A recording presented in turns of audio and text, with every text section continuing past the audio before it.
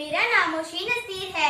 मैं लुधियाना के BCM school में छठी कक्षा में पढ़ती हूँ। नमस्कार मैं काव्या हसीन लुधियाना के बीसीएम स्कूल में चौथी कक्षा में पढ़ती हूँ।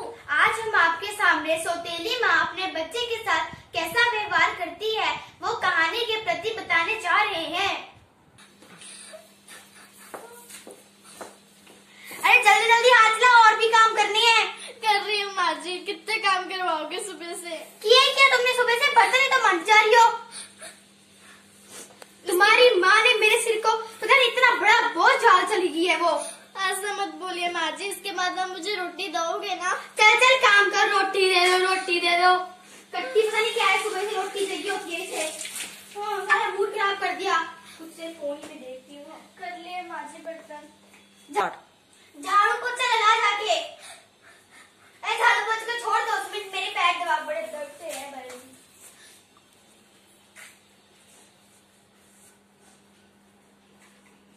चल बस बस जा झाड़ू पोछा लगा जाके।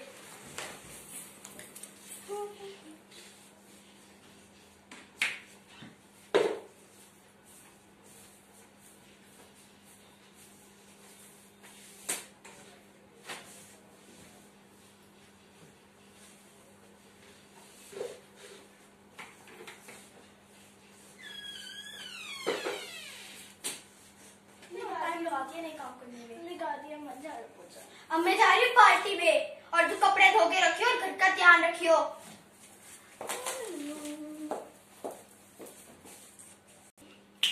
चलो, मम्मा तो मेरी पार्टी में मैं पढ़ लेती हूँ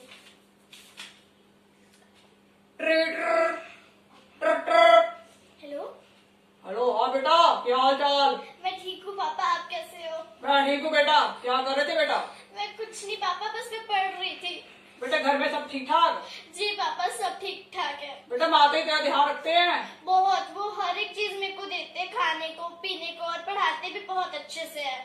अच्छा चलो ठीक है बेटा माता जी को बोलना मैं फिर बात करूँगा ओके? ठीक है बाय पापा।